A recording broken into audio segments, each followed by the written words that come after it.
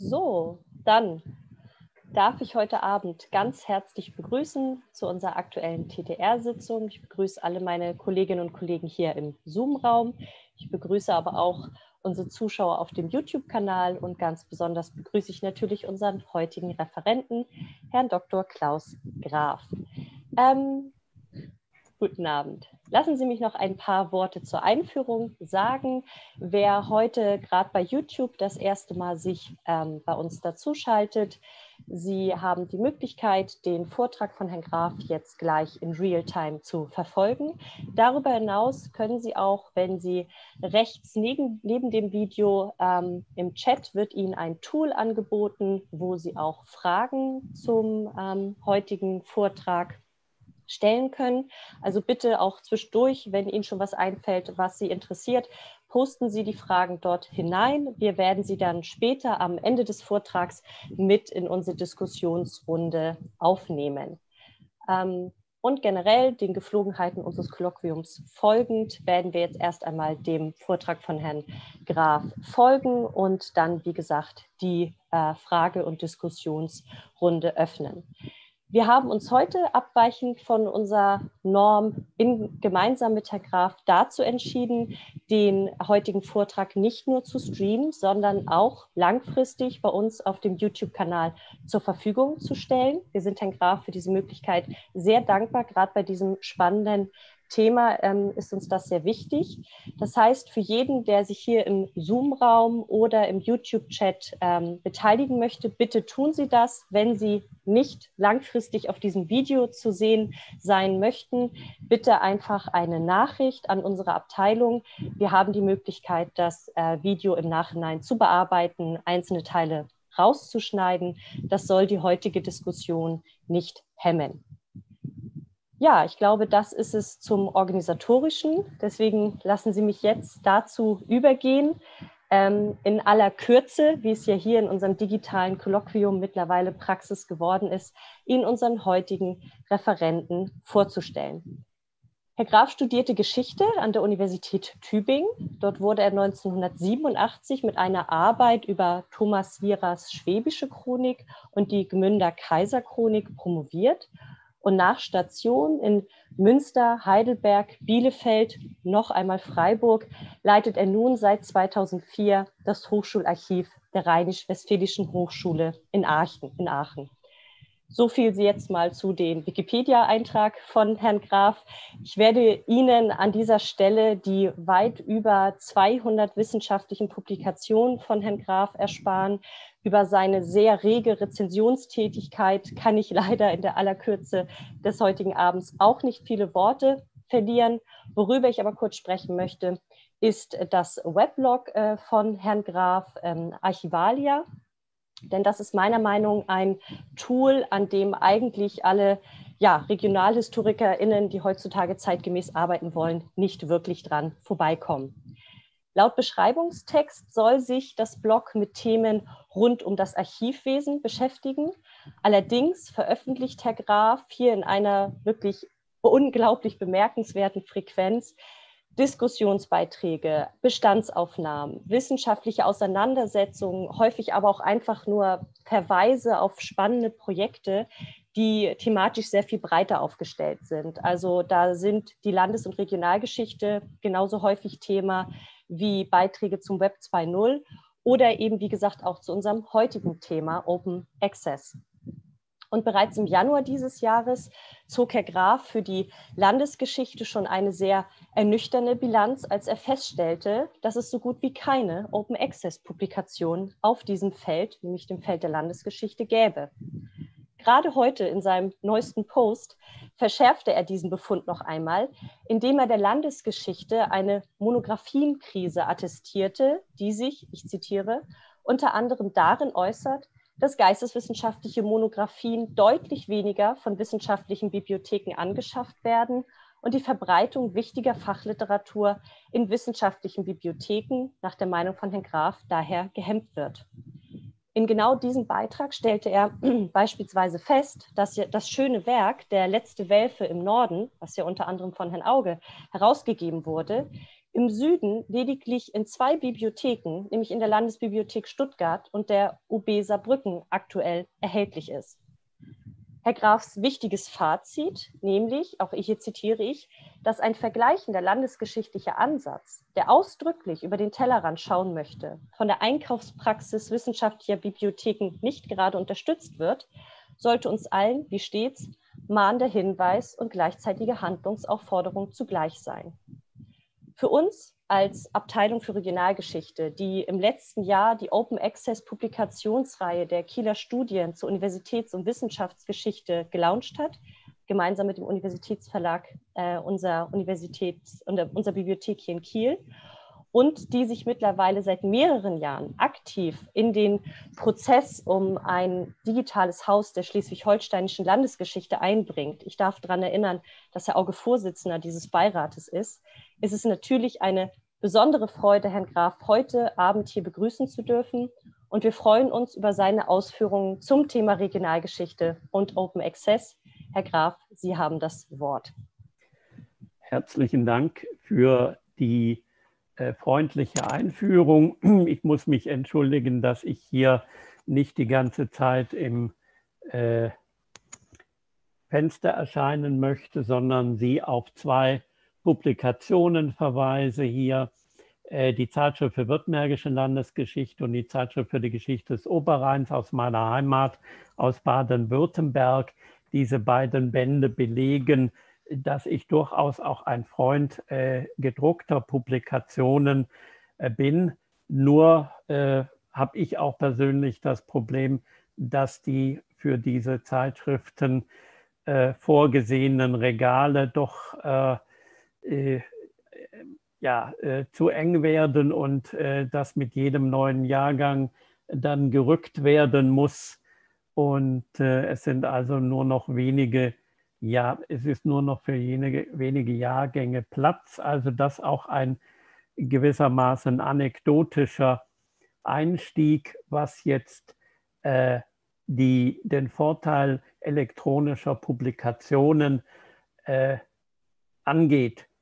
Ähm, ich hoffe, äh, Sie können mich gut verstehen und äh, der Präsentation folgen. Ich habe hier in dem Wiki Wikiversity von den Media, ein Media-Wiki der Wikimedia Foundation äh, vorhin eine Seite angelegt, die äh, in etwa die Gliederung und den Ablauf der, äh, des Referats und auch die äh, von mir besprochenen und gezeigten Links hier äh, nennt. Das müssten Sie äh, sowohl im Chat als auch ähm, im, äh, auf YouTube äh, als Link sehen. Sonst notfalls können Sie natürlich auch in Archivalia mo morgen oder nachher nachschauen. Da wird mit Sicherheit dieser Link auch gepostet. Ich bin sehr dankbar, dass es möglich ist, die äh, Veranstaltung heute aufzuzeichnen. Nicht, dass ich mich mit einem Ewigkeitsanspruch schmücken möchte. Aber es ist doch mitunter für diejenigen, die jetzt keine Zeit hatten, ähm, eine äh, wirklich gute Sache, wenn man eben auch nachträglich noch die Möglichkeit hat, das entsprechend anzusehen. Ja, ich möchte in medias res gehen und gleich darum äh, bitten, dass äh, man mich stoppt, wenn ich zu lange werde.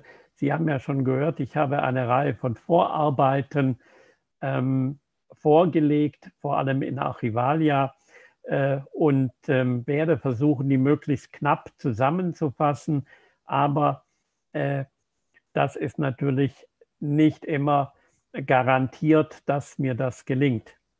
Ähm, vergleichsweise kurz möchte ich den ersten Abschnitt halten. Was ist überhaupt Open Access? Open Access ist in aller Munde und ich möchte Sie da nicht mit ähm, äh, ähm, mit äh, hier äh, übermäßigen Eingangsinformationen äh, langweilen. Äh, hier das die Webseite Open Access Net ist also die führende deutschsprachige Information zu Open Access. Dort wird definiert, Open Access meint den unbeschränkten und kostenlosen Zugang zu wissenschaftlicher Information. Ähm, ich habe selber ähm, einige wichtige Begriffe der Open Access Bewegung 2019 äh, in meinem bereits genannten Blog Archivalia zusammengestellt ähm, und möchte da mich aber auch auf das Allernötigste beschränken. Was man wissen sollte, ist die Farbenlehre des Open Access. Goldener Open Access meint also die Publikation direkt ohne oder in hybrider Form mit Druckpublikation, aber sofort kostenlos für die Nutzer. Und das muss natürlich in gewisser Weise auch finanziert werden, weshalb bei Zeitschriften ein ganz wichtiges Modell äh, darin besteht, dass eben die Kosten ähm, für die Zeitschriftenpublikation vom Autor beziehungsweise besser gesagt von seiner Institution getragen wird. Und dann gibt es eben noch den Platin- oder diamantenen Open Access. Das bedeutet, es ist also äh, für die Autoren und für die Institutionen äh, frei. Man finanziert über Subventionen oder Mitgliedschaften diese Open Access Zeitschriften oder gegebenenfalls auch Monographien. Ein wichtiger Punkt ist auch der grüne Open Access, der darin besteht, dass bereits publizierte, entweder online oder gedruckt publizierte Publikationen, Veröffentlichungen ähm, in Repositorien, Open Access, Schriftenserver eingestellt werden, äh, mitunter äh, nach, ein, nach dem Ablauf von Verlagen vorgegebenen Embargofristen. Also äh, etwa, äh, Sie kennen solche Repositorien, etwa in Freiburg gibt es Freidoc, nennt sich das. Und ähm, hm, äh, wir werden also auch noch, äh, äh, denke ich, ein solches Repositorium äh, sehen. Ähm, und eine wichtige Unterscheidung, die dann später noch ausführlicher erläutert wird, ist zwischen gratis und libre.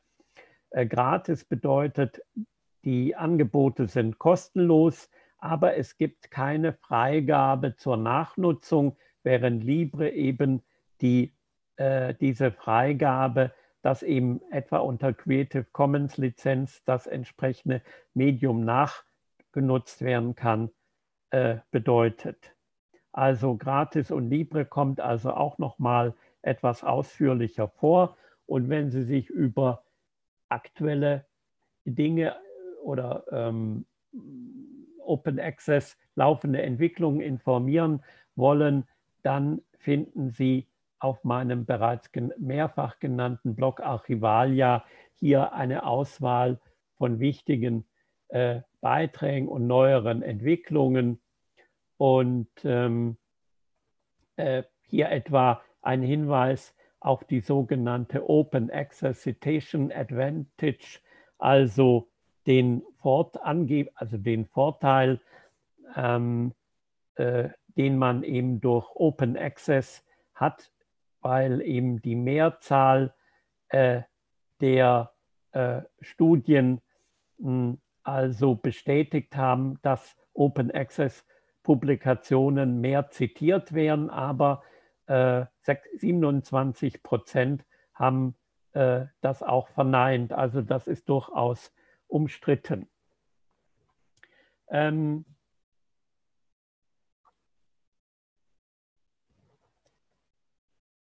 ich möchte jetzt unmittelbar anknüpfen an äh, das, was bereits in der Einführung gesagt wurde, meine kleine Untersuchung über landesgeschichtliche Monographien in äh, Deutschland 2019-20. Äh, hier bin ich ja zu einem eher deprimierenden Befund gekommen. Ähm, ich habe äh, die Webseiten von landesgeschichtlichen Institutionen, also Instituten wie dem Kieler Institut oder den äh, Landesarchiven, den historischen Kommissionen und so weiter, histor großen historischen Vereinen äh, untersucht und dann äh, zwei, für 2019, 20 äh, gut 2050 Monographien ermittelt. Von denen gibt es ganze 16 Open Access. Und ohne die staatlichen Archive wäre die Gesamtzahl der Publikationen gleich null. Und ähm, als echte Open Access Publikationen mit freier äh, Lizenz, also Libre Open Access aus dem Zeitraum 2019-20 gibt es nur drei Veröffentlichungen des Brandenburgischen Landeshauptarchivs. Das muss ausgesprochen gelobt werden, denn seit Anfang 2021 stehen auch mehr als 70 Bände der Publikationen dieses Archivs Open Access zur Verfügung. Ähm,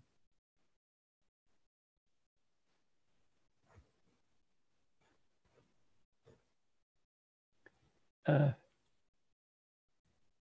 hier.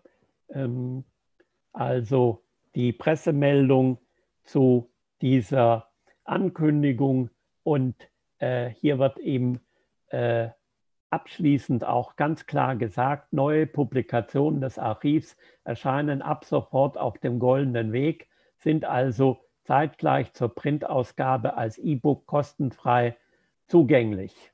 Das ist natürlich großartig und äh, das sollte eigentlich Standard sein, aber es ist ein, eine Institution von ganz vielen, die diesen Schritt praktiziert hat. Ähm, die historischen Kommissionen, die wichtigen historischen Vereine und die Universitätsinstitute lehnen unisono goldenen Open Access für Neuerscheinungen in ihren traditionellen, renommierten Schriftenreihen ab. Einige wenige experimentieren mit äh, Open Access Angeboten und Reihen. Äh, führend ist die Historische Kommission für Westfalen, die in ihrer digitalen Materialienreihe bereits 17 Schriften veröffentlicht hat. Ich, es wurde ja bereits erwähnt, und das ist ja auch löblich, dass die Kieler Studien zur Universitäts- und Wissenschaftsgeschichte in Open Access erscheinen. Ähm, Sie können diese äh, Untersuchungen, landesgeschichtliche Monographien, ähm, ja, die recht ausführlich geworden ist, können Sie hier äh, in Archivalia sich äh, anschauen.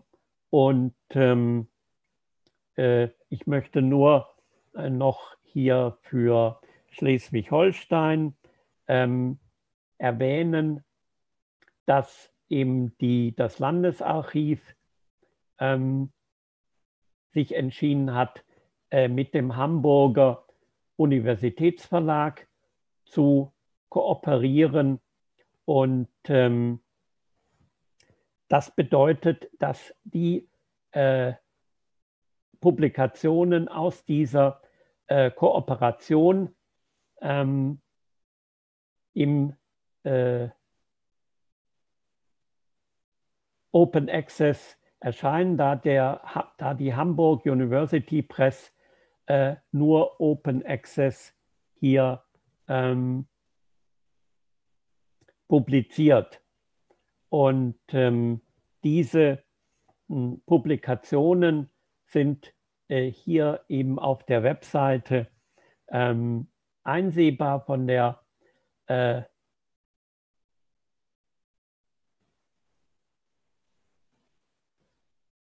Hamburger äh, University Press und ähm,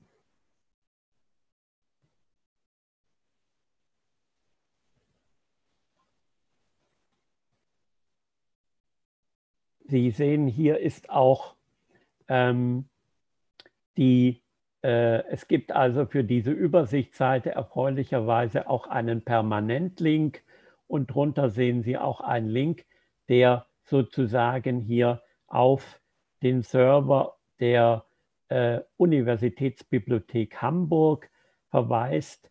Das ist also äh, so ein Repositorium oder kann man als eines der Repositorien bezeichnen, wo eben hier äh, wissenschaftliche Veröffentlichungen Open Access auch publiziert werden. Also ein Paradebeispiel für äh, äh, an sich für grünen Open Access, das hier aber für goldenen Open Access genutzt wird.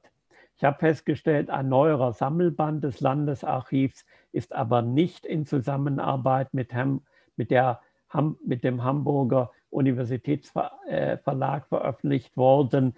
Äh, ich gehe aber davon aus, dass die weiteren Findbücher äh, weiter auch bei Hamburg University Press Open Access erscheinen. Aber es ist natürlich schade, äh, dass also ein Teil der Publikationen des Landesarchivs jetzt nicht Open Access erscheinen wird in Zukunft. Also äh, das als Beispiel für ähm, ein Repositorium. Ähm, ich zeige Ihnen äh, mal auch noch hier Freidoc, das ich bereits ähm, hm, erwähnt habe. Das ist also das institutionelle Repositorium der Universität Freiburg. Und ähm, äh, da äh, können, kann man also hier ähm, mitunter äh,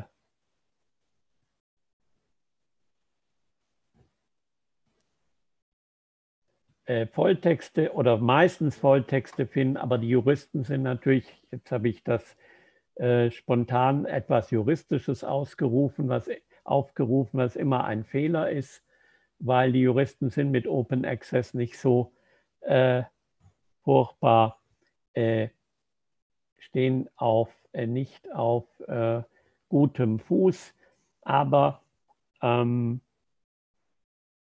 vielleicht haben wir ja ähm, bei den Dissertationen Glück, das ist auch nicht der Fall. Gut, also Sie haben auf jeden Fall gesehen, ähm, es gibt hier in Freidoc ähm,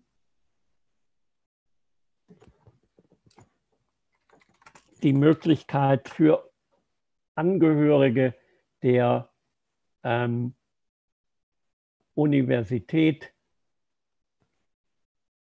ähm, die äh, entsprechenden ähm,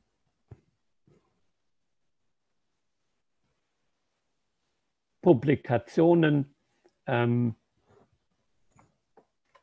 auf einem Server, die schon gedruckt vorliegen äh, oder vielleicht auch online erschienen sind, ähm, zu ähm, äh, deponieren. Ich zeige Ihnen da mal eitel, wie ich bin, meine eigenen Publikationen, weil von denen weiß ich, dass es sich nicht um bibliografische Einträge, sondern um Volltexte handelt. Also das sind äh, 76 wissenschaftliche Artikel, äh, hier beispielsweise äh, landesgeschichtliches, ähm, nicht nur aus äh, Baden-Württemberg, ähm, aber auch aus Baden-Württemberg. Ähm, regionale Identität im südbadischen Raum.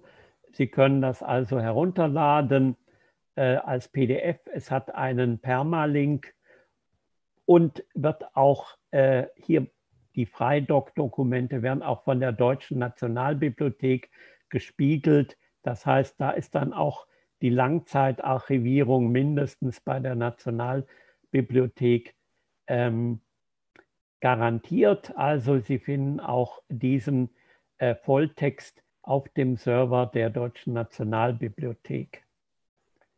Ähm, gibt sicher auch in Kiel, wird aber leider äh, in Freiburg häufiger auch von Historikern genutzt als meines Wissens in Kiel. Das war so ein kleiner Exkurs noch zur Verdeutlichung von grünem Open Access. Ähm, ein bisschen was äh, zu älteren Publikationen. Äh, ich habe dann so eine kleine Abschätzung vorgenommen ähm, anhand der landesgeschichtlichen Reihen, die ich ermittelt habe, die also jetzt auch noch bestehen. Es gibt natürlich auch Reihen, die eingegangen sind. Und dann habe ich also etwa 10.000 Titel so äh, grob gerechnet. Also ein, das ist, klingt natürlich viel, aber für äh, ja, wissenschaftliche Digitalisierungsprojekte von Bibliotheken ist das eigentlich nicht, äh, nichts, was nicht äh, in ein paar Jahren ähm, ins Netz gestellt werden konnte. Bisher sind von diesen geschätzten 10.000 Titeln weniger als 5 Prozent, nämlich keine 500 Titel online. Von den 103 anhand der Internetseiten überprüften landesgeschichtlichen Institutionen bieten 89 keine retro-digitalisierten äh, Schriften an. Und große Angebote gibt es nur von äh, sieben Institutionen. Das größte Angebot macht die Gesellschaft für rheinische Geschichtskunde, die UB äh, Köln. Entschuldigung, da muss ich einiges schließen, weil es äh, mir verdeckt jetzt der ähm, mir verdeckt dieses, ähm, ein technisches Problem, äh, die Reiter. Ähm,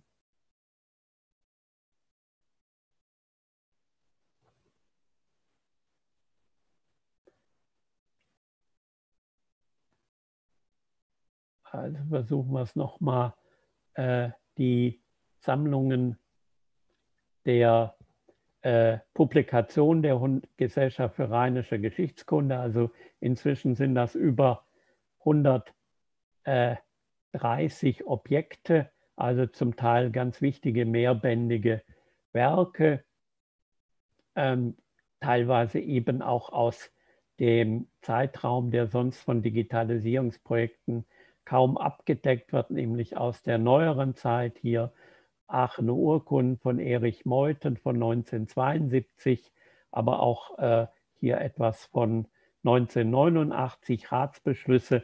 Das Problem ist, das ist natürlich eine fantastische Initiative, aber dadurch, dass diese ähm, Publikationen nicht dem Karlsruher virtuellen Katalog nachgewiesen sind, sind sie so gut wie unbekannt. Also auch die im OPAC der äh, Uni Köln findet man sie, aber man findet sie eben nicht im HBZ-Katalog und damit eben auch nicht im Karlsruher virtuellen Katalog. Also gut versteckte Schätze. Ähm, dann habe ich mir gestern mal äh, angeschaut, wie sieht es bei den führenden landesgeschichtlichen äh, Zeitschriften aus ähm,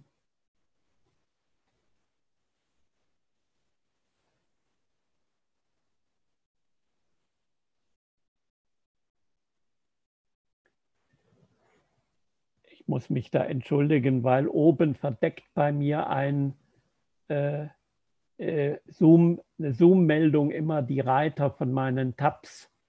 Äh, deshalb, ähm, ja, kann ich das nicht wie geplant äh, einfach äh, öffnen, sondern muss da immer schauen, dass ich die schließe, damit ich da nicht ähm, hier ähm, in die Bredouille komme und äh, das Tab nicht ansteuern kann.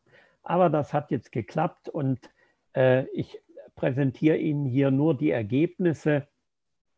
Ähm, ich habe also 29 wichtig, als wichtig identifizierte Zeitschriften hm, äh, hier geprüft und davon liegt eine einzige äh, Open Access im eigentlichen Sinn vor, äh, zeige ich Ihnen gleich. Drei Angebote äh, gibt es für ähm, zum, äh, mit, mit Paywall, darunter das Jahrbuch für Regionalgeschichte, das ja auch von federführend von Herrn Auge herausgegeben wird. Ich gehe äh, nicht davon aus, dass er mir das Angebot machen wird, diesen Vortrag hier zu einem Aufsatz für eine Paywall-Zeitschrift umzuarbeiten. Ja, denn der Steiner Verlag wird sich sicher nicht darauf einlassen, ausnahmsweise einen Aufsatz der Allgemeinheit ohne Bezahlung zur Verfügung zu stellen. Ähm, große kostenlose Angebote gibt es nur für ein knappes Drittel. Zehn, da ist dann schon die Oberpfalz mit drin und ein allzu kleines Angebot nur für ein, knappe, äh, ein allzu kleines Angebot, die Kommission für geschichtliche Landeskunde, die Herrn Auge ja auch sehr vertraut ist. Äh, da gibt es also Jahrgänge 2013 bis 2017 ähm, für die ZGO, Zeitschrift für die Geschichte des Oberrheins und die Zeitschrift für Württembergische Landesgeschichte, die Sie hier sehen, auf dem Bücherregal, äh, während also alle anderen äh, äh, entsprechenden Institutionen, wenn sie etwas ins Netz gestellt haben, äh, wirklich geklotzt und nicht gekleckert haben. Zuletzt äh, der Rheinische Verein. Es war also einige Jahre gab es nur auch ein kleines Angebot, aber inzwischen ist, die gesamte, äh, ist der gesamte Erscheinungsverlauf bis auf die letzten Jahre der rheinischen Vierteljahreshefte auch online bei der UB Bonn einzusehen. Also am besten tut man sich mit einer digitalisierenden Bibliothek zusammen und ähm, äh, kann dann hier äh, auch vergleichsweise ohne riesige Kosten diese äh, Bände zugänglich machen.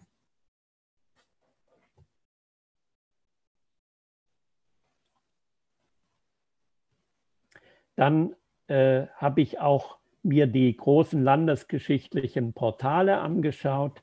Oh, Entschuldigung, das ist der falsche. Ähm, ähm, der falsche Beitrag, den habe ich, äh, den falschen Beitrag habe ich da verlinkt. Ähm, Schleswig-Holstein hat ja kein solches Portal, aber es, wie ich vorhin äh, gehört habe, soll es ja auch eines geben. Und ich habe mir da vor 2019 so einen Kriterienkatalog Personavino ausgedacht. Ähm, besteht aus Per für Permalinks, So steht für Social Media oder Sharing, N steht für Nachnutzung, A Annotation oder Feedback, V I für Viewer, Auflösung und Metadaten und NO für Normdaten kann man sich merken mit dem Satz, eine digital affine Persona kann nur mit Wein ertragen, was real existierende digitale Projekte an Defiziten zumuten. Ja, ich habe also die diversen äh, zehn Projekte hier äh, geprüft und ähm, sehen da ein äh, äh, Screenshot aus dem Kulturerbe ähm, Niedersachsen, wo hier also vorbildlich ähm, äh, die Rechte auch angegeben werden, direkt mit diesen Creative Commons Symbolen und dieses, äh, diese Haube ist also erfreulicherweise auch Wikipedia tauglich hier online. Ähm, in, Im Rheinland gibt es natürlich äh, im Rheinland gibt es natürlich, Entschuldigung, mein äh, Hund hat gerade versucht, das äh, Mikrokabel, äh, das Headset-Kabel anzuknabbern. Ja, etwas Human Touch muss sein. Ähm, und ein Aspekt ist natürlich bei äh, solchen großen Portalen, ähm, nicht nur, sind nicht nur die Permalinks, dass da Baden-Württemberg keine anbietet, halte ich also für ein Unding, äh, sondern es sollte eben auch eine Nachnutzung, eben Libre Open Access äh, möglich sein. Wenn man also sieht, dass natürlich solche Institutionen wie das Landesarchiv Baden-Württemberg äh, durchaus äh, bemerkenswerte Open Access Angebote machen und Open Access auch als Ziel anerkennen, ist es unverständlich, dass man eben eine Nachnutzung im Bereich dieses Portals Leo BW auch nicht ähm, vorgesehen hat. Man kann also grob unterscheiden zwischen solchen Themenportalen und Digitalisatportalen, wobei bei den Themenportalen in keinem einzigen Fall eine Nachnutzung im Sinne von Open Access erlaubt wurde. Also nur allgemeiner Rechtevorbehalt.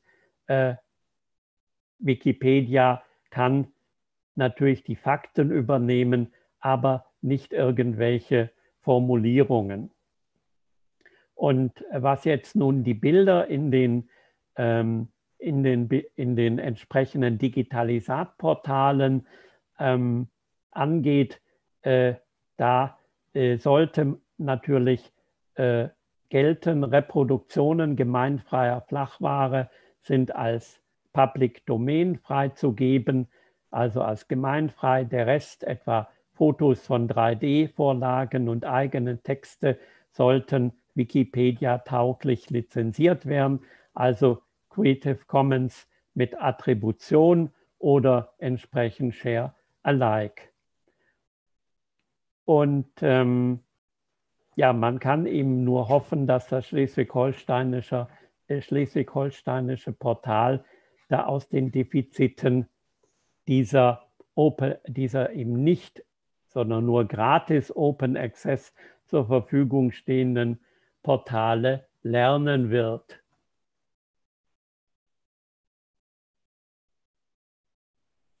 So, ich habe mich hier äh, aus, meinem, aus meinem, meiner Seite rauskatapultiert, ähm, bin aber jetzt wieder auf der Wikiversity-Seite und äh, bereits erwähnt wurde mein heutiger Beitrag zur sogenannten Monographienkrise. Ich versuche den auch ähm, ganz kurz zusammenzufassen. Bereits erwähnt wurde dieser Band aus dem, der Reihe der Kieler Werkstücke, Werkstücke über äh, den letzten äh, Welfen im Norden. Also gehe ich jetzt nur auf eine neue umfangreiche Monographie über Regensburger Geschlechtertürme ein, ähm, die ich leider selber nicht gesehen habe. Die scheint im Buchhandel bereits vergriffen zu sein und es gibt wohl auch keine antiquarischen Angebote. Außerhalb Bayerns finde ich nur Standorte in Berlin, in einer Institutsbibliothek in Freiburg, in Hamburg, in Stuttgart und in Trier, bedeutet also kein einziges Exemplar in Hessen und in Nordrhein-Westfalen und auch der gesamte mitteldeutsche Raum fällt aus und natürlich auch nicht in Schleswig-Holstein. Und ähm, äh, bei den landesgeschichtlichen Zeitschriften sieht es etwas besser aus, vor allem wenn da eben ein Tauschverkehr der historischen Vereine zum, äh, zum ähm, Tragen kommt. Aber die Mecklenburg mecklenburgischen Jahrbücher, die sehr kostengünstig sind, kostet ein Band 26 Euro, also erheblich billiger auch als der Mitgliedsbeitrag von 40 Euro. Ähm, man stellt also fest, dass sie in keiner wissenschaftlichen Bibliothek im Saarland und in Rheinland-Pfalz, auch nicht in Thüringen, Sachsen-Anhalt und Brandenburg einsehen kann. muss natürlich immer dazu sagen, nach dem Stand des Karlsruher virtuellen ähm, äh, Katalogs, wenn also kleine Archiv, wenn also Archivbibliotheken oder kleine Spezialbibliotheken dort nicht erfasst sind, ist es natürlich durchaus möglich, dass es äh, da, also dass man in diesen Ländern irgendwo eben durchaus einen Standort findet. Aber in den wissenschaftlichen Bibliotheken Baden-Württembergs und Nordrhein-Westfalens gibt es nur je zwei Standorte, in Bayern äh, nur drei. Und ähm, äh, man kann natürlich jetzt überlegen, woher kommt das, dass also sehr viel ähm, äh, weniger als früher äh, heute von den Groß von den Bibliotheken mit einem universalen Anspruch angekauft wird. Da ist natürlich das Hemd näher als der Rock, sprich eher werden regional ja aus der eigenen Region gekauft als solche vom Ende, anderen Ende der Republik. Und äh, wenn man eben für eine Publikation eine Vielzahl von Büchern benötigt, kann man sich selbstverständlich nicht alles kaufen. Also äh, guckt man, ob man irgendwo einen Kontakt zum Autor oder zur Autorin hat, ob die äh, vielleicht ein PDF zur Verfügung stellen kann. Da habe ich mir in Kiel ja eine Abru äh, schon eine Abfuhr äh, geholt, weil man mir nicht hinreichend vertraut hat äh, bei einem Nachschlagewerk. Äh, und, ähm, aber es gibt ja die aus, hierzulande ausgezeichnet funktionierende Fernleihe, aber die verursacht natürlich hohe volkswirtschaftliche Kosten und das wird bei Überlegungen zu Open Access regelmäßig übersehen. An der UB Siegen deckten die Einnahmen an Fernleihgebühren 2018 die Kosten nur zu 6 Prozent. Und natürlich gibt es auch eine Variante von Murphy's Law, die lautet, wenn du das Fernleihbuch zurückgegeben hast, entwickeln sich deine Forschungen mit Sicherheit so, dass du zu wenig Seiten kopiert hast.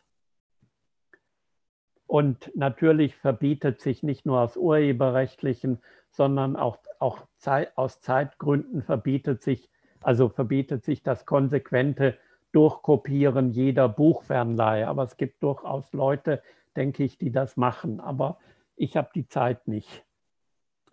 Ähm, ich äh, möchte jetzt nun nicht behaupten, dass durch die zunehmend unbefriedigende werdende Verbreitung geisteswissenschaftlicher Monographien in wissenschaftlichen Bibliotheken und äh, in den äh, und die Probleme mit den Fernleihen, äh, dass dadurch die Forschung gänzlich da niederliegt. Aber die Bibliotheksschließungen während der Corona-Pandemie haben meines Erachtens klar bewiesen, wie verletzlich eine Wissenschaftskultur ist, die sich wie die landesgeschichtliche Forschung weitgehend dem digitalen Publikationswesen verweigert. Natürlich heißt das Remedium Open Access. Nur Open Access sorgt für wissenschaftliche Chancengleichheit und kann die ungleiche Verteilung von Ressourcen äh, und auch natürlich die von manchen Zufälligkeiten bestimmte ungleiche Verbreitung von Bibliotheksstandorten eines Buchs ausgleichen. Wird konsequent auf Open Access gesetzt, braucht es auch kein Vetterle, um es schwäbisch auszudrücken, das ein PDF oder einen Scan schicken kann. Ähm es gibt natürlich auch noch weitere äh, Argumente für Open Access. Bereits genannt habe ich äh, diese, diesen äh, Vorteil bei der Zitierung. Open, Open Access Publikationen werden mehr zitiert, so zumindest eine äh, Mehrheitsmeinung. Und ganz wichtig für Bücher, Open Access bedeutet keine Gefahr für den Verkauf der Werke. Vor kurzem hat die Universität Leiden betont, dass mehrere Studien bisher gezeigt haben, dass das äh, Argument, ein Open Access Buch verkauft sich nicht in gedruckter Form, nicht zutrifft. Und ein vielleicht auch nicht ganz unwichtiges Argument ist das sogenannte Steuerzahler-Argument, was alle bezahlen, soll auch allen gehören. Und äh, selbst bei den historischen Vereinen kann man nicht ausschließen, dass öffentliche Gelder zur Unterstützung der Drucklegung fließen. Und auch bei diesen äh, ist natürlich auch indirekt eine Subventionierung, zum Beispiel durch die Betreuung universitärer Qualifikationsarbeiten gegeben. Man fragt sich also, wenn so viele Open äh, wenn so viele Gelder in solche Publikationen fließen, wieso sollen dann die Verlage äh, da im Profit machen können und die Institute sind dann äh, zum Teil auch gezwungen, ihre eigenen Arbeiten selber zu erwerben, wenn sie nicht ein Exemplar von der dankbaren Autorin oder dem dankbaren Autor geschenkt bekommen. Ja, ähm, äh, ein paar Tipps für die Retro-Digitalisierung finden Sie in diesem am Ende des bereits genannten Beitrags vom Anfang des Jahres zu den Monographien. Ähm, ich will jetzt, äh, da die Zeit mir wegläuft, mich zunehmend kurz fassen. Ähm, äh, man sollte also Lücken füllen, was jetzt Gemeinfreies angeht. Sie finden hier auch einen Link zu meinem Gemeinfreitag 2016 bis 2018, wo ich eben äh, versucht habe, hier möglich, jeden Freitag möglichst viel Gemeinfreies ins Netz zu kommen. Insgesamt in diesen äh, ähm, drei Jahren waren das über 2800 gemeinfreie Medien mit ein wenig Hilfe von anderen, aber das meiste habe ich eben selber hier äh, ähm, gemacht und ich habe eben kein dickes Institut hinter mir äh, und äh, habe das also nur äh, selber hier im Wesentlichen selber da äh, in die Wege geleitet.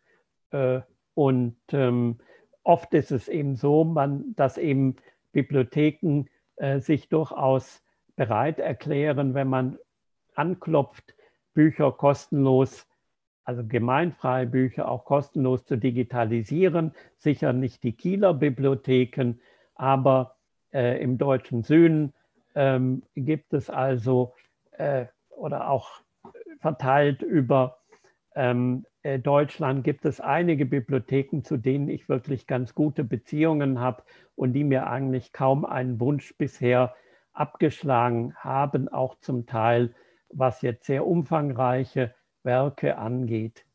Und es gibt eine gesetzliche Möglichkeit, die bisher bis zu diesem Monat sehr gut funktioniert hat, aber durch eine Gesetzesänderung muss man da wohl ein paar Monate, vielleicht sogar noch länger warten, bis dieses Verfahren wieder neu eingerichtet ist.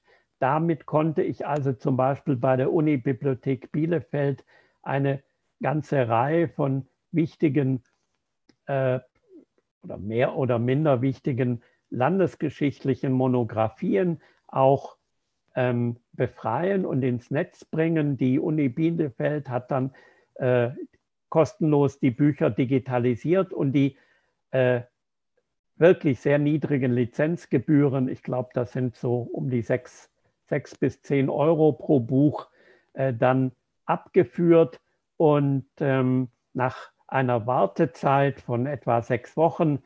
Äh, die wird jetzt entsprechend auf sechs Monate verlängert. Nach einer Wartezeit von sechs Wochen war äh, dann tatsächlich das Buch auch im Netz. Und ähm, äh, als letztes äh, hat man mir also mitgeteilt, dass die von mir beantragte Geschichte der Amtsstadt Schorndorf aus dem Jahr 1959 jetzt online ist. Äh, Schorndorf ist Herrn Auge möglicherweise bekannt. Er nickt. Also ein schwäbisches Heimatbuch, aber durch eine wissenschaftliche Dissertation von zentraler Bedeutung für das Mittelalter dieser winzigen schwäbischen Stadt. Und ähm, ähm,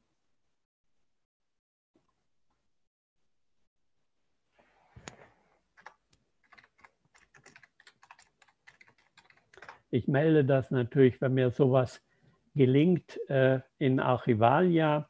Äh, zeige Ihnen jetzt gerade mal ähm, hier die äh, digitalen Sammlungen der Uni Bielefeld, die also erfreulicherweise dieses Buch in ihrem Bestand hatten, obwohl sie sonst nicht allzu viel leider Relevantes haben. Aber äh, das ist jetzt lizenziert worden und das funktionierte für die Publikationen bisher bis 1965. Nun gibt es eine Moving Wall, also das schreitet dann immer äh, fort, also 30 Jahre, äh, eine 30-Jahresfrist und was vorher liegt, kann über dieses Verfahren, äh, wenn es denn wieder funktioniert, dann entsprechend ähm, ins Netz gestellt werden. Es haben also äh, auch viele andere Institutionen, nicht nur die Uni Bielefeld, solche Lizenzen bisher beantragt. Und äh, ich wüsste nicht, was dagegen spricht, einfach wenn das wieder funktioniert, äh, bei diversen Bibliotheken äh, anzufragen, ob äh, landesgeschichtliche Monographien einfach für Lau hier digitalisiert werden können und damit auch der Allgemeinheit zugänglich gemacht werden können. Ähm, und man kann natürlich Genehmigungen einholen, was ich ein, bei einer Reihe von Schwäbisch Gmünder Heimatforschern erfolgreich gemacht habe. Als Ergebnis dieser äh, Bemühungen äh, habe ich hier eine Bibliografie zur Schwäbisch Gmünder ähm, äh, Kriminalitätsgeschichte von immerhin gut 120 Titeln veröffentlicht und äh, wirklich bemerkenswert oder einzigartig bundesweit ist der hohe Anteil 76 Prozent von von kostenfreien Volltexten im Open Access. Also Sie sehen, bis 1948 ist 100 Prozent online und auch von den Publikationen 1975 bis heute ist über 70 Prozent online. Das liegt vor allem auch daran, dass die Witwe des ehemaligen Schwäbisch Gmünder Stadtarchivars da eine entsprechende Genehmigung erteilt hat und damit sind nicht weniger als 31 Publikationen kostenfrei zugänglich. Also wenn man will, kann man einiges bewirken, möchte ich damit nur sagen. Und äh, wenn man also die Genehmigung der Wissenschaftler und Wissenschaftlerinnen hat, kann man also durchaus einiges ins Internet Archive auch hochladen. Das hat in letzter Zeit wirklich bei Bekannten von mir äh, gut funktioniert, während früher habe ich also immer geschrieben, ja, dann machen Sie das doch Open Access zugänglich und dann äh, war das meist in den allermeisten Fällen nicht von Erfolg gekrönt, weil die Leute müssen selber was tun, die müssen sich ein Repositorium suchen, wo sie es hochladen, äh, weil Academia, Edu und Konsorten ist für mich kein Open Access Repositorium. Äh, und äh, wenn ich einfach sage, ich lade für Sie es ins Internet Archive hoch, klären Sie es gegebenenfalls mit dem Verlag, was in der Regel bei Aufsätzen auch gar nicht nötig ist, dann habe ich also in letzter Zeit durchaus Glück gehabt und nicht nur bei Herrn Professor Auge, der mir vor wenigen Tagen gestattet hat, mit ähm, äh, Genehmigung auch der Mainzer Zeitschrift einen kleinen Aufsatz von ihm, äh, den er in der Mainzer Zeitschrift 2018 über einen württembergischen Kleriker veröffentlicht hat, hier im Internet Archive zugänglich zu machen.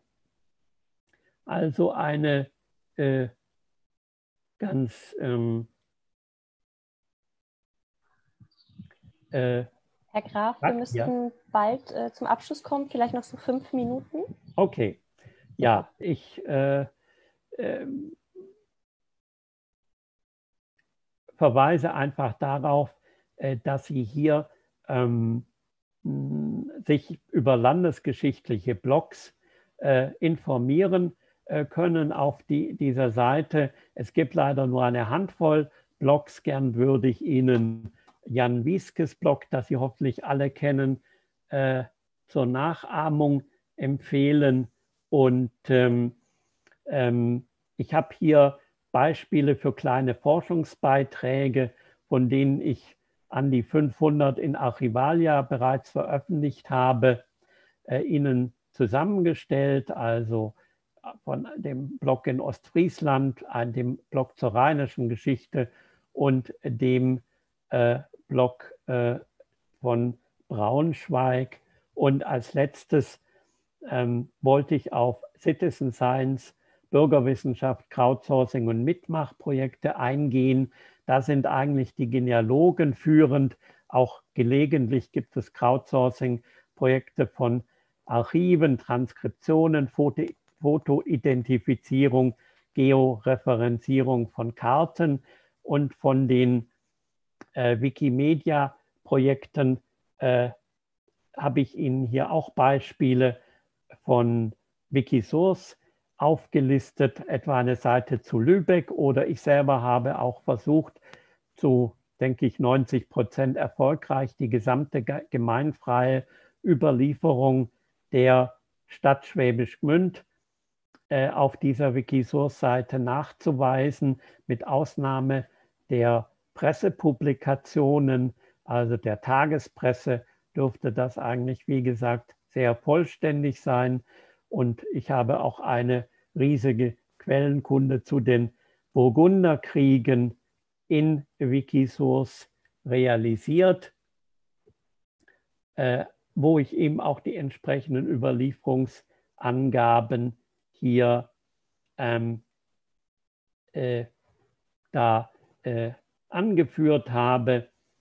Ähm, und äh, äh ja, einzelne kleinere Projekte waren eben das, äh, oder mein letztes Projekt war eben, dass ich die Mitteilung des Vereins für Geschichte und Landeskunde von Osnabrück äh, bis 1925, denke ich, ins Netz bekommen habe, solange, soweit die eben nicht mit einem, äh, also soweit die eben nicht schon frei zugänglich waren. Also das heißt, wenn die in HT Trust äh, verfügbar sind, einer großen digitalen Bibliothek, die viel zu wenig äh, bekannt ist, dann haben, äh, habe ich die eben mit einem entsprechenden Tool ins Internet Archive geladen und dann auf dieser Seite von Wikisource hier auch verlinkt, also bis 1925 ähm, äh, ist das, äh, sind also alle Jahrgänge komplett der Osnabrücker Mitteilung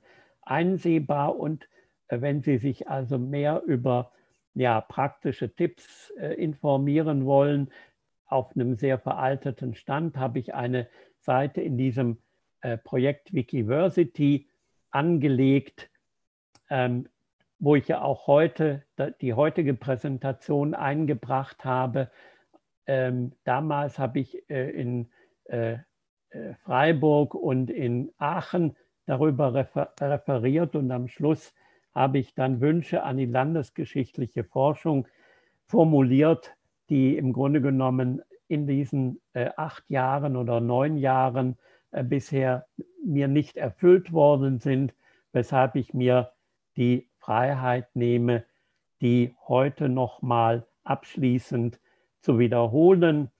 Also Lücken schließen und noch nicht digitalisiertes ins Netz stellen, haben wir vorhin besprochen. Google Scans, die nur mit Proxy zugänglich sind, ins Internet Archive hochladen. Das gilt auch für HT Trust. Ist also durchaus kein, äh, kein äh, Zauberkunststück. Digitalisate müssen an prominenter Stelle nachgewiesen werden, zum Beispiel in der Wikisource oder in der Wikipedia. Mein Appell in den Wikimedia-Projekten mitarbeiten, also an der Wikipedia mitarbeiten und auch in Wikisource mitarbeiten, gegebenenfalls Genehmigung des Rechteinhabers einholen, davon war auch die Rede. Ein ganz wichtiger Punkt, den ich jetzt nicht mehr ausführen kann, ist bei jedem Projekt, zum Beispiel jeder Veröffentlichung auch von Aufsätzen, sich fragen, welche Quellen und Sekundärliteratur kann und darf ich online der Allgemeinheit zugänglich machen. Da darf man erheblich mehr. Vielleicht kann ich deiner Diskussion auch noch was über die, den aktuellen Paragraphen 68 Urheberrechtsgesetz über die visuellen Quellen noch sagen. Und wir hatten ja breit auch darüber gesprochen, eigene Publikationen Open Access zur Verfügung zu stellen. Das ist einfacher, als man denkt. Und der letzte Punkt, auch der, den habe ich heute erwähnt, Blogs lesen und selber bloggen. Vielen Dank für Ihre Aufmerksamkeit.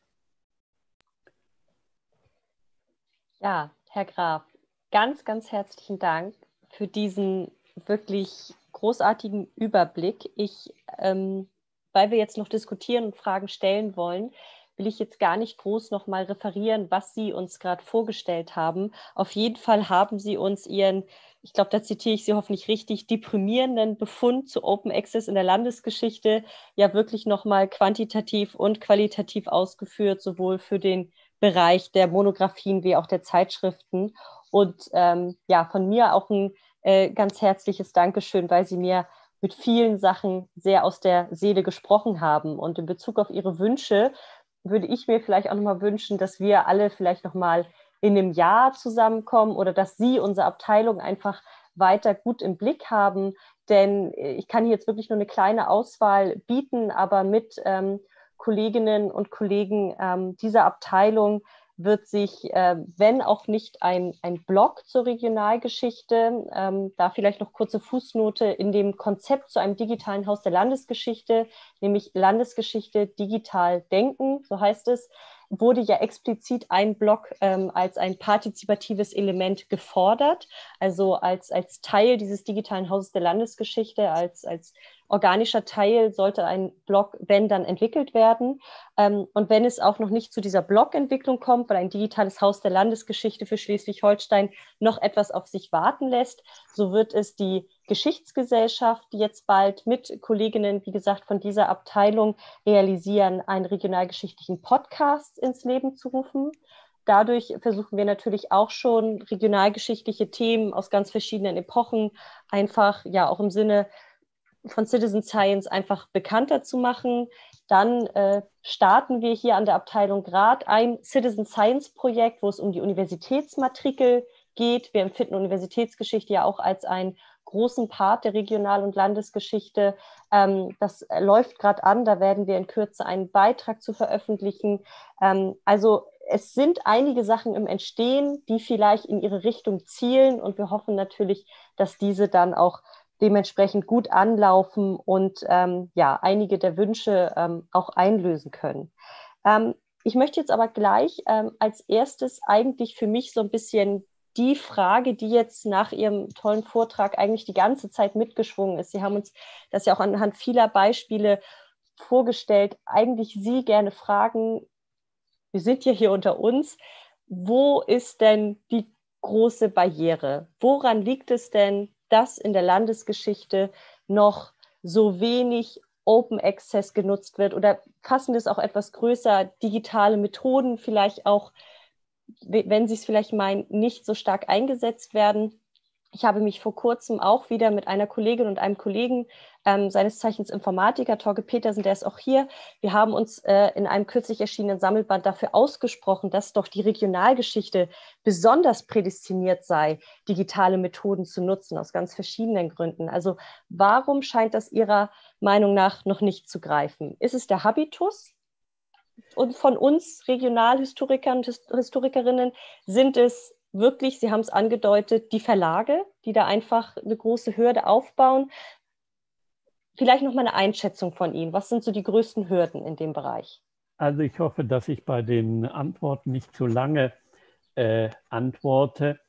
Ähm, ich denke, es ist eine äh, Vielzahl von Faktoren. Ein sicher eher boshafter Faktor ist natürlich, es, es ist auch ein Altersproblem. Also viele Akteure der, äh, der landesgeschichtlichen äh, Forschung sind über 60, wie ich auch, und haben eben den Anschluss ein bisschen verpasst. Und ähm, äh, die traditionellen historischen Vereine klagen ja auch über eine äh, Überalterung. Äh, nun haben wir aber auch ganz viele junge landesgeschichtliche Forscherinnen und Forscher. Und da ist es natürlich schwierig, äh, wieso ähm, die so skeptisch oder ich habe auch keine wirklich schlüssige Erklärung, wieso diese äh, persönlich Personen so skeptisch äh, der von Open Access äh, zur äh, Verfügung, äh, also gegenüberstehen ich denke, es ist da einfach auch eine Frage des Renommees, gedrucktes äh, Papier. Das, damit, das kann man herzeigen, das kann man der Oma auch schenken, damit kann man Eindruck schinden und Open Access Publikationen, die sind unkörperlich, äh, die kann man sich nicht ins Regal stellen äh, und äh, damit prunken. Also das ist sicher ein äh, Faktor, das jetzt, und es ist natürlich, gibt eine große Unsicherheit in Sachen, was darf ich überhaupt? Äh, und wenn man natürlich jetzt von Pontius zu Pilatus laufen muss, um einen Open Access Verlag zu finden, der wirklich die einigermaßen brauchbare Bedingungen äh, da auch für einen äh, bietet, dann sagt man sich, wieso soll ich dann nicht zu der renommierten Reihe, die eben gedruckt erscheint und wo ich wirklich in einer sehr guten Umgebung bin, wieso soll ich da nicht hingehen und äh, soll dann da im Grunde äh, soll dann äh, da nicht publizieren. Also ähm, ich wollte auch noch sagen, hm, wenn jetzt jemand von Ihnen konkreten Beratungsbedarf hat, ähm, äh, dann kann er sich gern an mich wenden. Ich helfe also, wie Sie vielleicht auch gemerkt haben, gern mit pragmatischen Ratschlägen und finde auch, man kann es durchaus mit dem Motto KISS, Keep It Simple and Stupid, kann man eine ganze Menge mehr und mit vergleichsweise geringem finanziellem Aufwand äh, bewirken. Also wie gesagt, äh, informieren Sie sich über die Rechtslage oder fragen Sie mich äh, und dann können Sie wirklich von heute auf morgen äh, Open Access praktizieren. Also das ist ein Angebot, was definitiv einige von uns in Anspruch nehmen werden. Ich darf aber jetzt die erste Fra Frage an Herrn Auge leiten. Vielen Dank, Frau Brun, und natürlich auch von meiner Seite an Sie, lieber Herr Graf. Vielen herzlichen Dank Dank. Äh, also das hat jetzt gar nichts mit dem Thema zu tun, aber man schweift ja manchmal gedanklich auch ab. Und dann ist mir doch tatsächlich eingefallen, dass wir uns schon 25 Jahre persönlich kennen. Äh, und äh, in dieser Zeit hat sich viel getan. Ich weiß aber, dass Sie ja schon also Ende der 90er Jahre eifrig ins Internet abgewandert sind. So wurde das damals auch gesehen. Und also ich möchte schon meinen, jetzt im Nachgang, aber das werden Sie selbst auch so sagen, Herr Graf, äh, haben Sie den richtigen Weg beschritten, vorausschauend, was manche in der Zunft damals nicht machten. Und vielleicht ähm, ist auch das, was Sie heute dargestellt haben, immer noch ein bisschen aus der Sichtweise der Zunft am Scheideweg äh, zu beschreiben. Und äh, tatsächlich also vieles von dem, was Sie gesagt haben, das würde ich unterschreiben, bis hin jetzt gerade zu dem zuletzt erwähnten Altersproblem. Ein Beispiel. Ähm, ich durfte ein Kieler Urkundenbuch in der äh, Zeitschrift für schleswig-holsteinische Geschichte besprechen. Das wird also in der nächsten gedruckt werden. Und äh, ich habe dann unter Hinweis auf Herrn Wieskes äh, Blog äh, Ihnen da quasi im Original zitiert, weil äh, Herr Wieske da schrieb, das ist ja der Hammer, dass dieses Kieler Urkundenbuch gleich Open Access erschienen ist. Und das fand ich so ein schönes Zitat.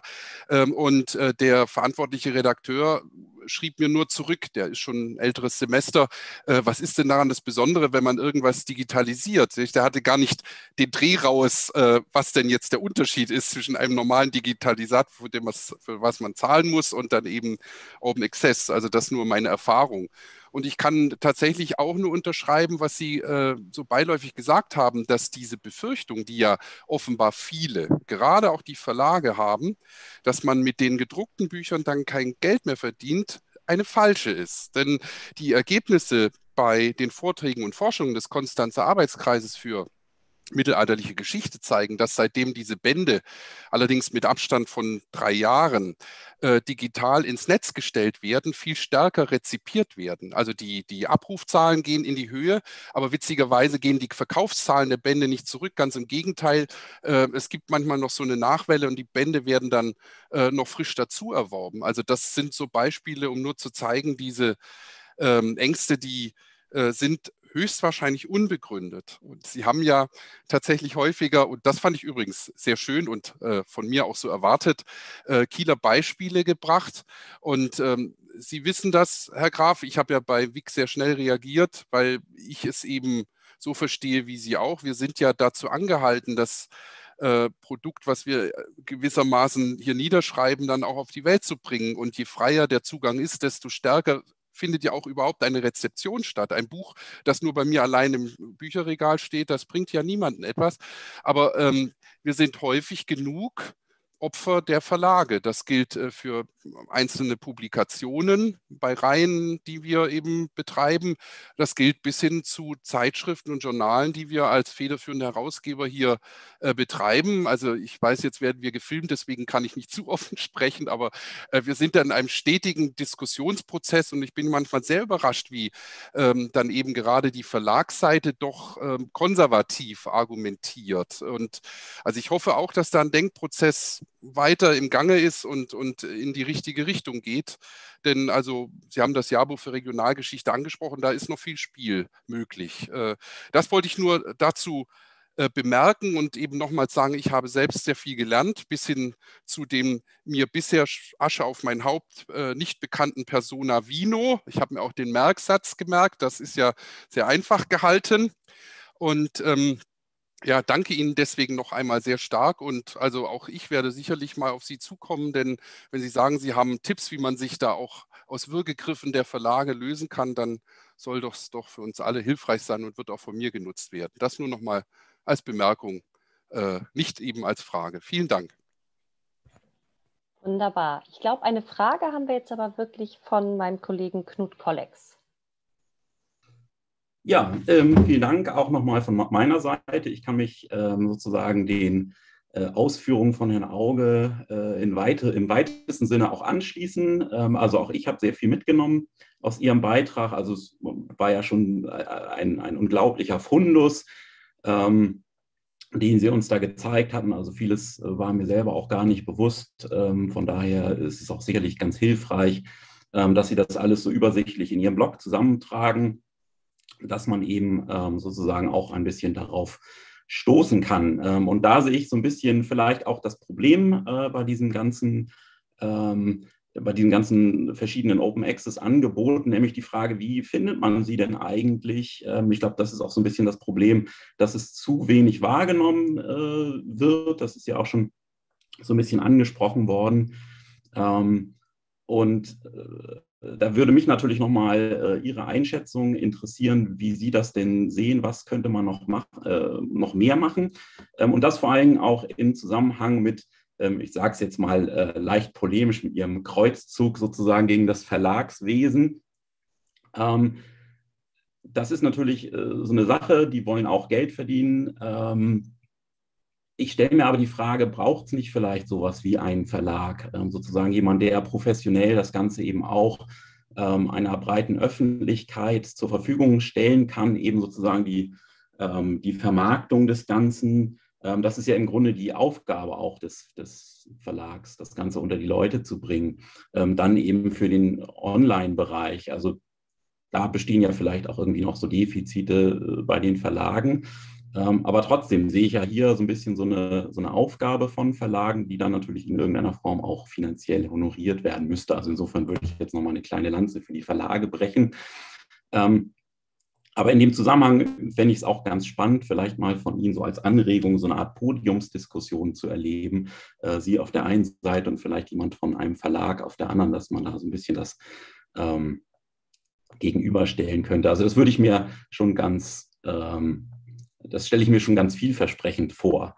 Ähm, genau, aber vielleicht können Sie da noch ein, ein bisschen was äh, zu sagen, ob die Verlage wirklich überflüssig sind ähm, oder was sozusagen die Alternative wäre, um sozusagen diese ganzen Angebote auch nochmal äh, besser wahrnehmen zu können. Denn das ist ja im Moment so ein bisschen das Problem. Ähm, vieles von diesen wirklich spannenden Sachen, äh, hilfreichen Angeboten, äh, darauf stößt man ja in erster Linie jetzt äh, nicht so ohne weiteres. Äh, ganz herzlichen Dank für die äh, Punkte. ich möchte den ersten Punkt äh, zur Sichtbarkeit oder zur Auffindbarkeit äh, einfach auch wieder pragmatisch herunterbrechen, wie das ja, äh, also ich habe gern auch einen gewissen hemdsärmeligen Zugang dazu und einfach als Vorschlag zu machen, dass es ja nun kein Ding der Unmöglichkeit wäre, etwa die von mir ermittelten Open Access Angebote landesgeschichtlicher Institutionen auf einer Internetseite oder auch in einem Wiki äh, einfach zusammenzustellen, weil ich hatte ja auch erwähnt, die äh, Rheinische Gesellschaft hat da ein fantastisches Angebot bei der UB Köln, das aber im Grunde genommen selbst für Insider wie mich kaum sichtbar ist, weil ich eben äh, erstmal recherchieren muss, äh, ist dieser Band dann gegebenenfalls online. Ähm, ich finde ihn also nicht über mein normales Häkchen beim Karlsruher virtuellen Katalog.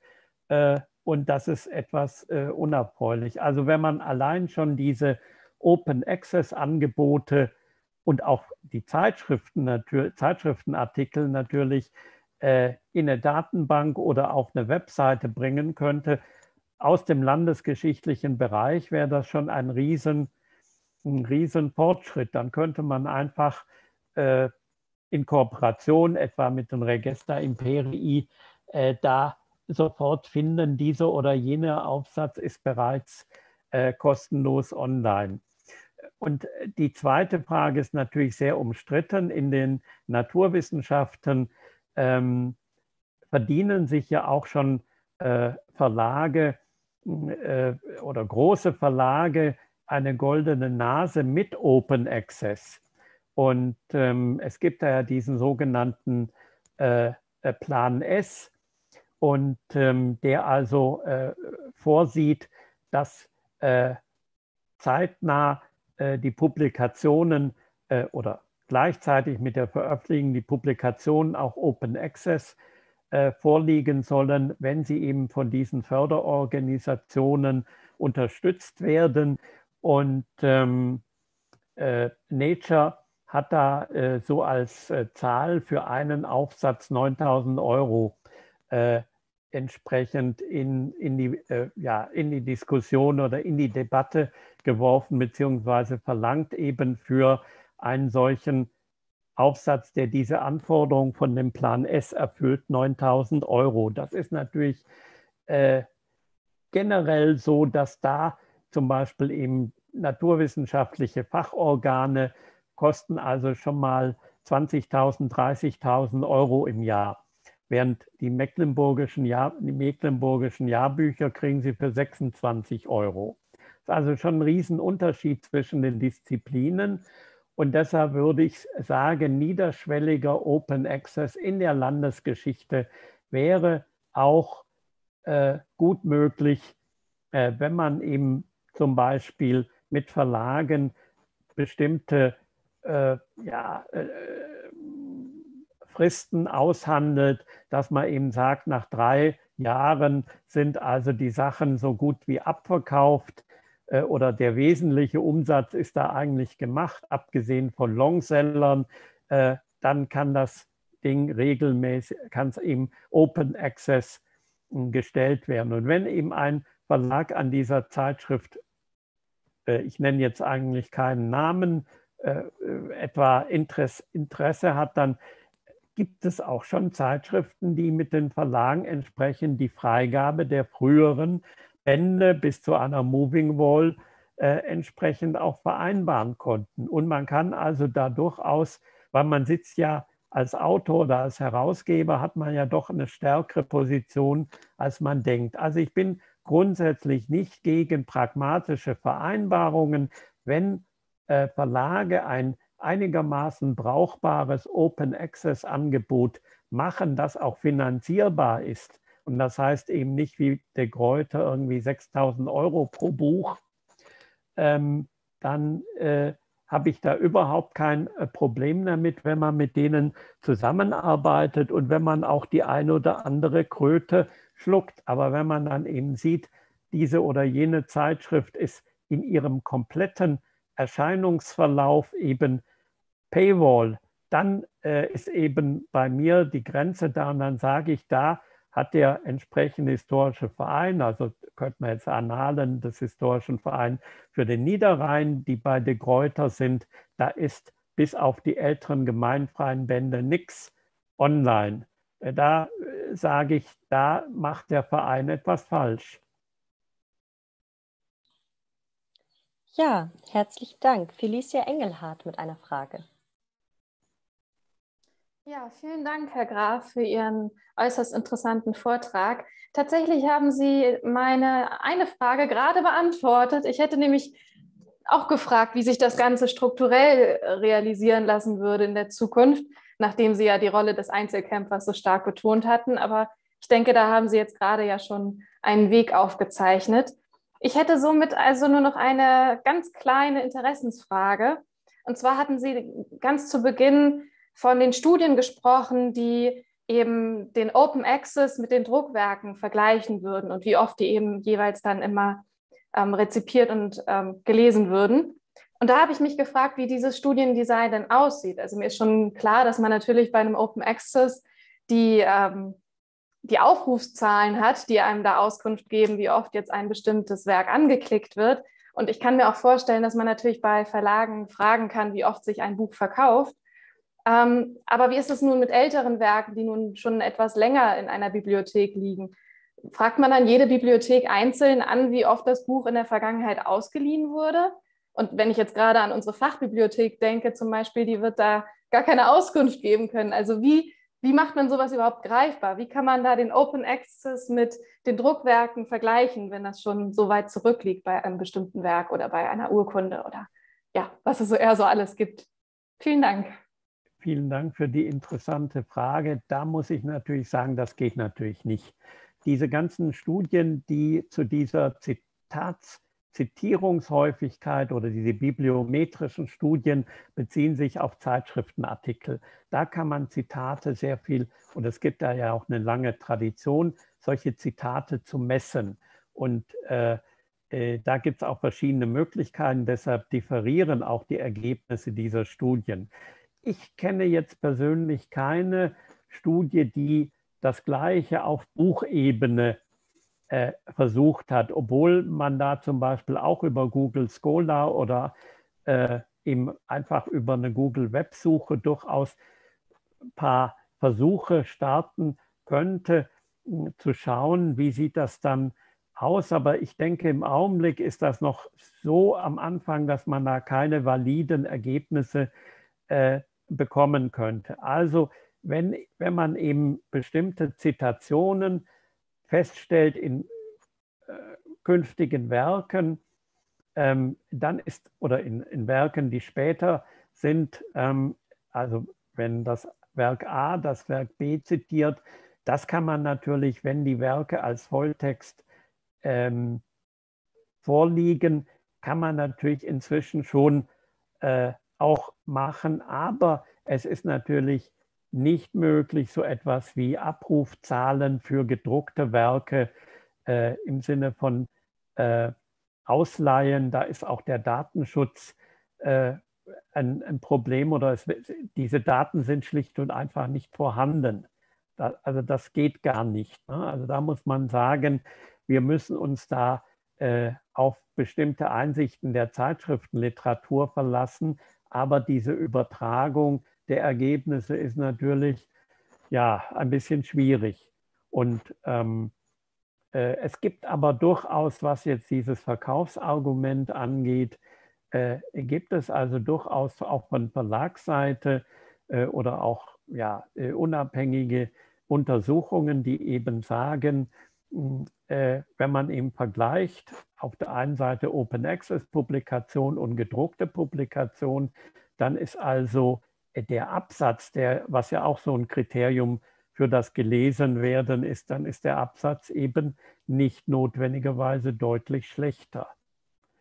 Aber ich bin fest davon überzeugt, ähm, dass äh, Open Access ähm, erhebliche Vorteile auch im Sinn der größeren Sichtbarkeit für die Landesgeschichte hat. Also ähm, ich erinnere mich dran, als ich in den 1900, Ende der 1990er Seite eine inzwischen auch schon äh, ja, aus dem normalen Netz verschwundene Homepage ähm, äh, ins Netz gestellt habe, dass ich da eben so große Zugriffszahlen Zeit für ganz entlegene Schwäbisch-Münder Themen hatte, wo ich dann gesagt habe, mit meinen gedruckten Publikationen, die ich ja bisher also bis zu diesem Zeitpunkt auch in reicher Fülle vorgelegt hatte, hätte ich das nie erreicht. Ne? Und ich denke auch, äh, dass etwa mein Blog Archivalia mit etwa 1000 Besuchern pro Tag,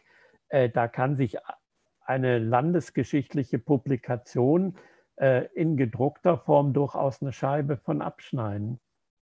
Versuchen Sie es noch mal ein bisschen, spielen Sie mit der Technik rum. Wir hören ja, wenn Sie bei uns ankommen. Ich würde jetzt dann vielleicht einmal kurz ähm, Christian Hoffert ähm, eine Frage stellen lassen und vielleicht kriegen wir die Technik ja noch zu laufen bei Herrn Bieske.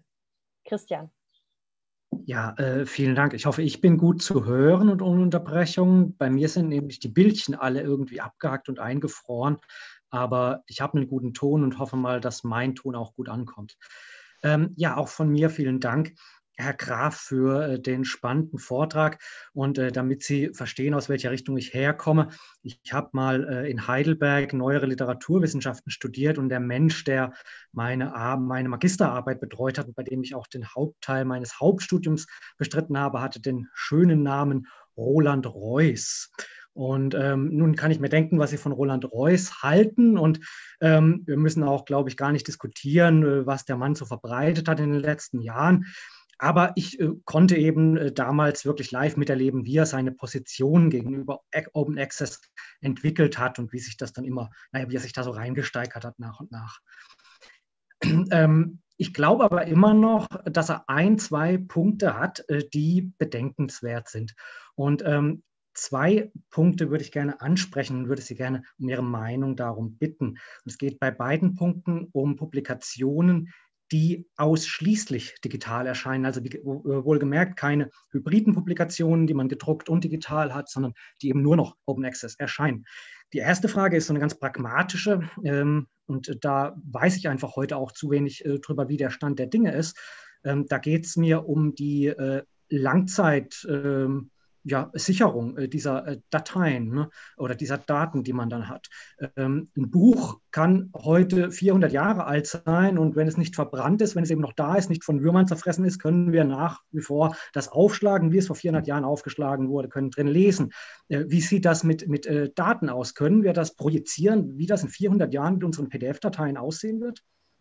Das ist so eine Frage, äh, die man ja durchaus immer wieder stellen kann. Und die andere Frage, und das ist äh, eher so eine ähm, ästhetische Frage, ein Stück weit, ähm, aber da komme ich eben auch äh, so ein bisschen von Reuss her, der ja das Buch als die perfekte Lesemaschine bezeichnet hat und äh, dafür plädiert, dass eben äh, doch die Aufnahme von Informationen äh, durch ein gedrucktes Buch und auf äh, Papier mit einer Typografie, die eben auf den Inhalt äh, zugerichtet ist, auch psychologisch wesentlich besser funktioniert als auf, durch eine PDF oder sonst irgendein Format auf dem Bildschirm.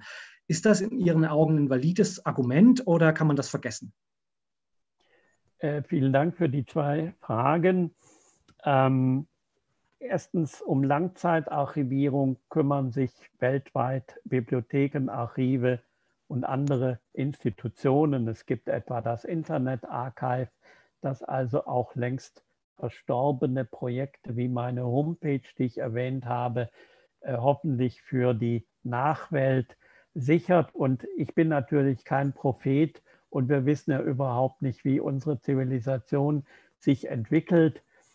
Aber ich habe den Eindruck, dass äh, zum Beispiel, wenn hier äh, Publikationen einen sogenannten URN, ein, eine, äh, äh, also einen äh, Permalink haben aus der Gruppe der sogenannten URNs, dass da die Deutsche Nationalbibliothek auch dahinter her ist, diese äh, Volltexte dort auf ihrem eigenen Server zu äh, speichern. Und da sehe ich nun wirklich überhaupt kein Problem, dass diese Institution, so wenig die auch ich die auch äh, sonst schätze, ich sage da immer, es ist die schlechteste Nationalbibliothek der Welt, was aber eher scherzhaft gemeint ist, aber es ist ein Fünkchen Wahrheit dabei, dass die also nicht in der Lage sein sollte, ihre eigenen Server hier wirklich äh, langzeitsicher zu machen, äh, halte ich also für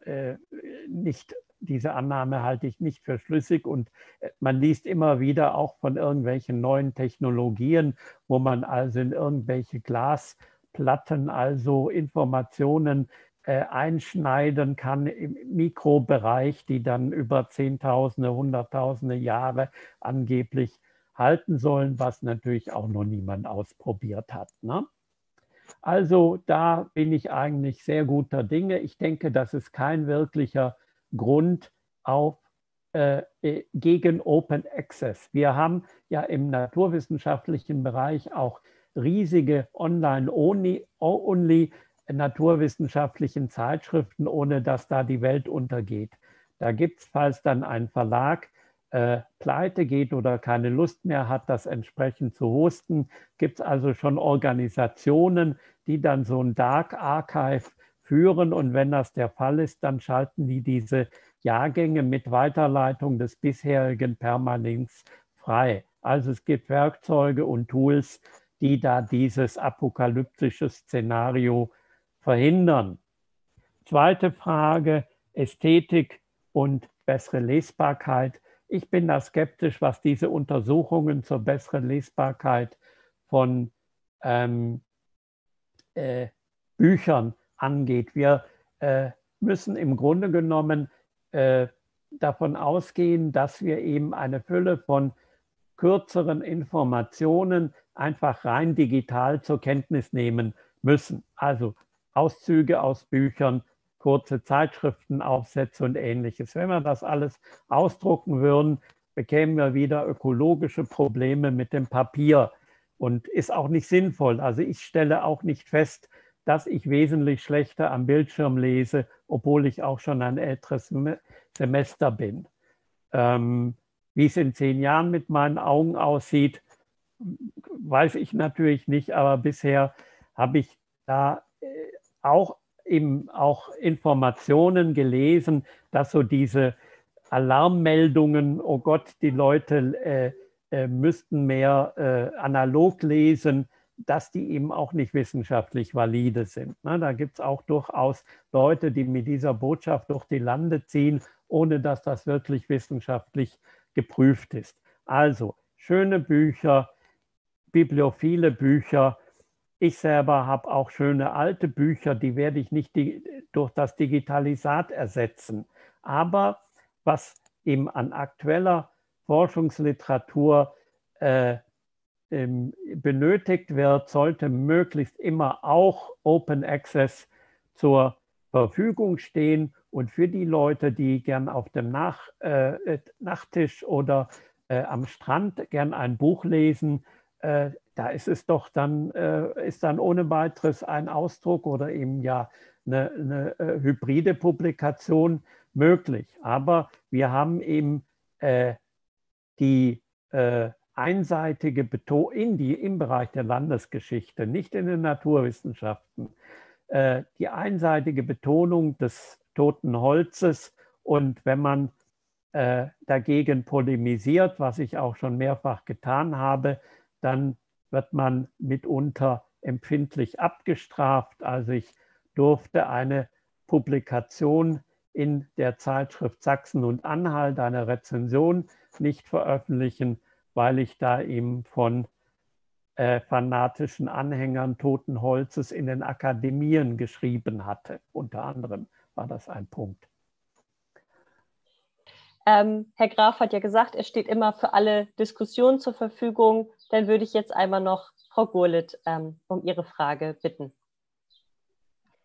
Ja, vielen Dank. Also äh, Open Access finde ich auch aus studentischer Perspektive äh, natürlich sehr interessant, vor allem im letzten Jahr, wenn man daran dachte, dass teilweise äh, Fachbibliotheken für Studierende monatelang nicht zugänglich waren und das natürlich für Hausarbeiten etc.